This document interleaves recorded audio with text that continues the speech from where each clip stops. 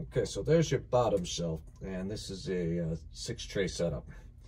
So you kind of see with this standard setup.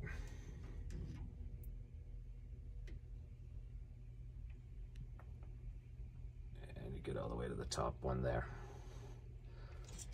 Now, when you're looking at a five wide tray, which is the coils, um, two coils working together.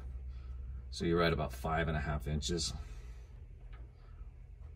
on the width of each of those.